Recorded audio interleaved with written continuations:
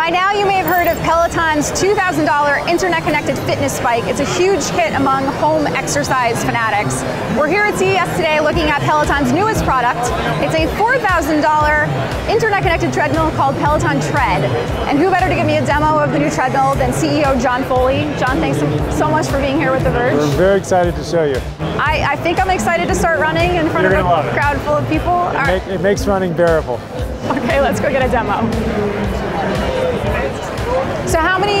So how many live classes can I expect to get per day? So we'll have a similar full roster of classes in the live class. We'll probably have 10 to 12 every day live streaming from the New York studio.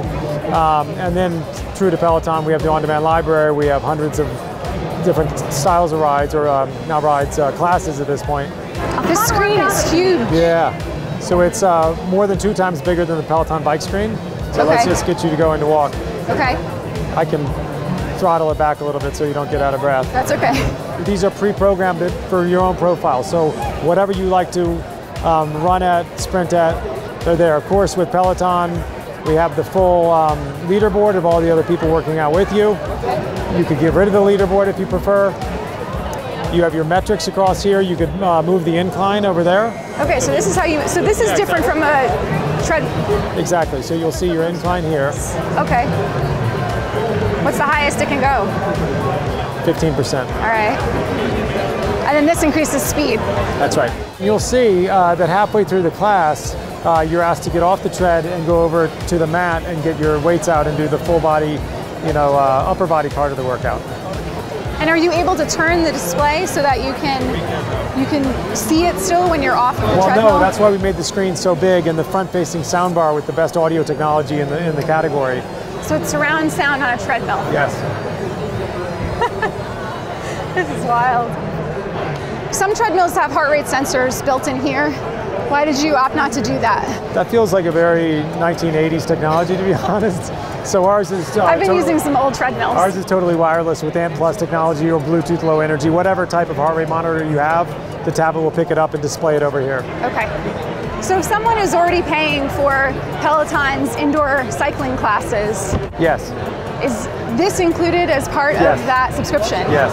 Okay. They pay nothing extra. They pay nothing extra, but but that would mean that they've paid two thousand dollars for the bike and four thousand dollars for the treadmill. Right. You have to buy the hardware, but from the membership perspective, your thirty-nine dollars per month covers your bike membership and your treadmill membership. What if someone was just using the iOS app and wanted to go running with the iOS running app? Could you do that as well? If you had your own treadmill in your basement, um, yesterday's, yesterday's technology, obviously, but you could download our iPad app in a couple months once we launch all of the uh, core classes, but you will be able to consume the classes from any hardware.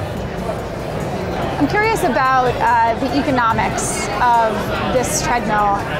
You announced this just a few hours ago today, and so far the early reactions really seem to be in two different camps. People are either saying they're really, really excited about this, maybe because they've tried Peloton before, or they're saying $4,000 for a treadmill? No way. Uh, why is this $4,000? So uh, it's four thousand dollars because it basically costs us four thousand dollars to make it. It's got a 32-inch touchscreen, a front-facing soundbar with the best audio technology, and the best slat technology in the treadmill um, itself. So we don't make almost any money on the treadmill, so we had to charge four thousand dollars. But interestingly, as you think about the affordability, for if you're a Peloton bike owner, we're bringing the Peloton treadmill to market at a $110 a month price point. And you think about back to the scale within the household, that's $55 per person. So when you think about what you're paying for your gym membership, if you had a Peloton bike and a Peloton tread in your home, why would you need to go to the gym?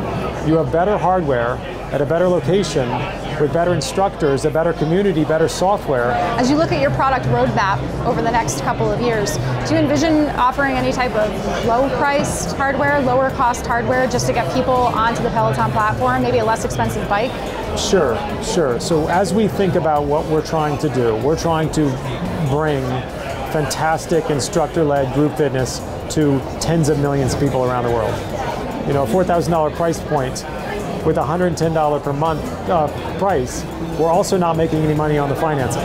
So we are doing everything we can to try to get great uh, platforms into people's homes so that they get uh, get fit and lead healthy and happy lives. So is it in your product product roadmap to introduce lower cost devices?